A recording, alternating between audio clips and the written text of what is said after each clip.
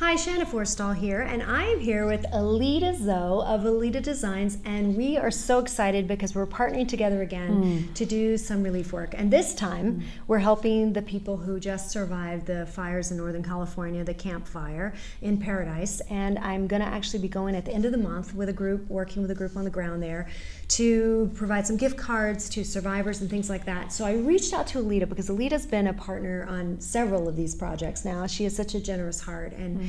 Um, and her jewelry has so much meaning. So I want Elida to tell you a little bit about the jewelry that she's providing and why and what it means. Mm-hmm. I'm looking forward to it. Thank you for inviting me for the opportunity. You know, I'm always um, very led by heart, and you my brand. Um, uh, the partners we do and we work with, and I'm really glad that you're doing this to reach out to those victims as well as those who are really callous who are helping victims. I think that is what I love to get behind.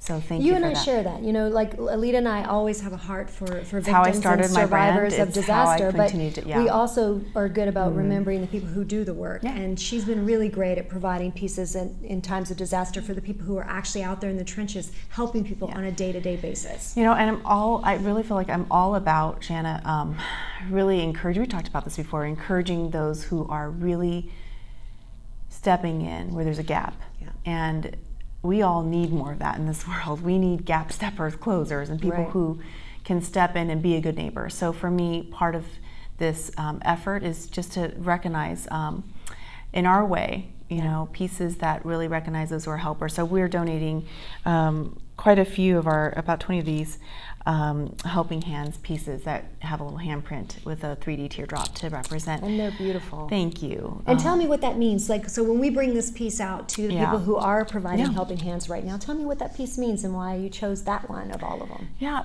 because I felt like it was the piece that really captures. It doesn't matter where. Um, you, if you're a person who sees a need, if you are the one to not just sit back and go, okay, you know, there's a need and it feels really bad and that's really tough for people, but I don't know if I can help, you know, right. but somebody else, hopefully they'll help. I, we feel, I feel like I really want to encourage those and recognize those, help those people know they're seen who are actually stepping in the gap and who are stepping in and, and lending a helping hand, being uh, action in love in action is really what we call it. So, and you know, those that's of us what the helping that, yeah, and those about. of us that step in for a few minutes or mm-hmm. a few mm-hmm. days or a few weeks, that's one thing. But there are there's going yeah. to be an army of people who do this long term, and those are the people that we're thinking about mm-hmm. right, right now. Compassion fatigue is very real. Mm-hmm. I've seen it with the other disasters I've worked with, and you know that's what I love about bringing a piece of Elida's jewelry to someone who has been working. By the time we get there, they'll have been doing this for yeah. six weeks. So you know they've given up time with their family. They're yeah. giving up time off work to go. To me, those are real people. heroes. Those, yes. those are what I feel like I grew up thinking. You know, to be a neighbor, what does that mean anymore? And in the U.S., I'm just thinking like right. being a good neighbor means stepping in and treating your neighbor like family. What would you right. do if you saw a neighbor struggling? Hopefully, you're not somebody who just goes, "Let me just take care of my own." You're thinking, "How do I help make our whole community a better place?" And that's what our brand's all about is spreading goodwill, spreading love, spreading encouragement and healing. And so I'm just thinking about those handwritten notes for each of those gifts for those who were um, helping victims. I mean, sometimes they're victims themselves, yeah, right. but they have the heart to, to help and to, to help lend a helping hand. I'm all about that. And so I really want to recognize them. I'm so grateful for people like you, Shanna. You're very unique, you're very rare.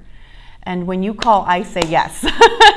I came from Orange County up here to do this tonight. Right. No matter where I was, downtown LA, whatever, I came here tonight just to make sure that these were given to you. And I apologize, that's my phone. But and that's where I think we're the same. Is yes. that you know we do what we can. Absolutely. And that's all everybody needs to yeah. do. It's like we if you don't have a million dollars to give out, mm-hmm. we get it. Mm-hmm. You know we don't mm-hmm. either. but whatever you have, if it's a little bit of time, we know like people I who have, do, or have some yeah. energy and some momentum to kind of gather people together. I'm mm-hmm. good at organizing, you know, and then I'm going to organize. She Everybody does what they can. Jewelry, so she's going to give some jewelry. Like, and yeah, and, and it was it was it was a loving mom who wrote all those handwritten notes with her gorgeous handwriting, with her heart in every word to say thank you for being an encouragement. We see you. Yeah. Thank you for your helping hand, and then also for for those who've lost their homes and maybe livelihoods, what you know, struggling right now as a result of fire.